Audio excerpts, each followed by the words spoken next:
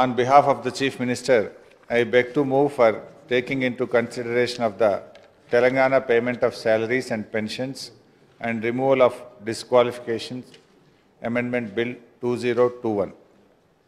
Motion moved. I request the Minister for Finance to explain the aims and objects and silent features of the bill.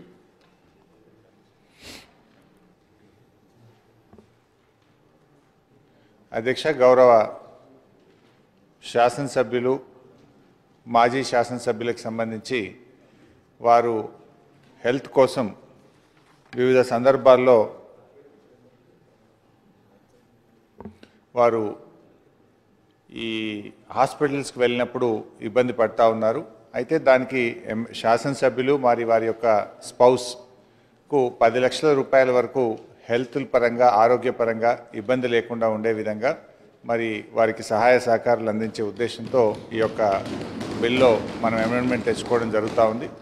అంటే ఇంతకుముందు కూడా ఇస్తున్నాం అధ్యక్ష కాకపోతే లక్ష రూపాయల వరకు మాత్రం మనం నేరుగా ఇస్తూ తర్వాత ఏం జరిగేది ఏంటంటే మళ్ళీ గవర్నమెంట్ పర్మిషన్ కోసం రాయడము అది ప్రభుత్వానికి ఇటు ఆరోగ్య శాఖకు అటు ఆర్థిక శాఖకు తిరిగి ముఖ్యమంత్రి గారి దగ్గరికి కూడా వెళ్తూ ఉండేది. సో దానివల్ల ఏం జరిగింది అధ్యక్ష సమయం పాపం మాజీ శాసనసభ్యులు కూడా వాళ్ళు కార్యాలయాల చుట్టూ తిరగాల్సినటువంటి పరిస్థితి వస్తూ ఉంది. వారి యొక్క సమయం ఆదా కావాలి. సకాలంలో వారికి వైద్యం అందాలనేటువంటి ఉద్దేశంతో గౌరవ ముఖ్యమంత్రి గారు ఈ నిర్ణయం తీసుకున్నారు అధ్యక్ష. శాసనసభ్యులతో పాటు మాజీ శాసనసభ్యులకు మాజీ శాసనసభ్యుల స్పౌస్ వారి సతీమణి గారు కానీ వారి భర్త గారికి కూడా ఈ యొక్క ఫెసిలిటీని ఎక్స్టెండ్ చేయాలని చెప్పి ప్రభుత్వం భావిస్తూ ఉంది అధ్యక్ష. మరి సభ్యులందరూ కూడా అంగీకరించాలని చెప్పి ఈ సందర్భంగా మీ ద్వారా గౌరవ సభ్యులందరికీ కూడా కోరుతా ఉన్నాం అధ్యక్ష. అట్లనే సభ్యులకు సంబంధించినటువంటి పెన్షన్ కూడా మరి మాజీ శాసనసభ్యులందరూ కూడా ఈ మధ్యనే ముఖ్యమంత్రి గారిని వచ్చి కలిశారు అధ్యక్ష.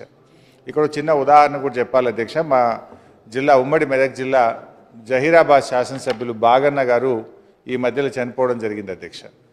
వారు నిమ్స్ ఆసుపత్రిలో చికిత్స పొందుతూ చనిపోయినప్పుడు హాస్పిటల్లో బిల్లు ఇంకో రెండు లక్షల యాభై వేల రూపాయలు కట్టవలసి ఉంటుండే. మనకి ఇనీషియల్గా పర్మిషన్ లక్ష రూపాయల వరకే ఉంది. మిగతాది మళ్ళీ ప్రభుత్వానికి వచ్చి అది శాంక్షన్ అయ్యి కట్టాల్సినటువంటి పరిస్థితి.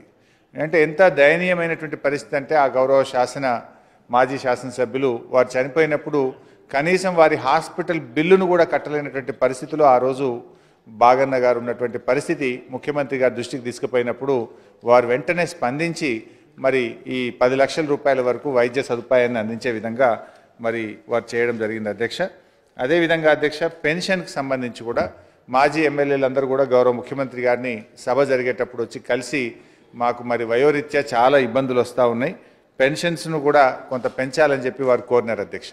అందువల్ల ఈ పెన్షన్కి సంబంధించి కూడా ఈరోజు గౌరవ ముఖ్యమంత్రి గారు కనీస పెన్షన్ను ముప్పై వేల రూపాయల నుంచి యాభై వేల రూపాయలకు మాజీ శాసనసభ్యులకు పెంచుతూ మరి అప్పర్ సీలింగు డెబ్బై వేల రూపాయలకు పెంచుతూ మరి పెట్టడం జరిగింది అధ్యక్ష. అయితే ఈ బిల్లో మనం కేవలం పెన్షన్స్ వరకు మాత్రం ఈ బిల్లో పెట్టుకున్నాం. యాభై వేల రూపాయల వరకు upper ceiling minimum pension upper ceiling వచ్చి డెబ్బై వేల రూపాయలకు పెడుతూ మనం పెట్టుకోవడం జరిగింది. మరి రాబోయే రోజుల్లో మరి ప్రభుత్వం ఉత్తర్వుల ద్వారా కూడా ఈ హెల్త్ ఫెసిలిటీ కూడా కల్పించాలని చెప్పి ఒక నిర్ణయం తీసుకున్నారు అధ్యక్ష. దీన్ని గౌరవ సభ్యులందరూ కూడా ఆమోదించాలని కోరుతున్నాను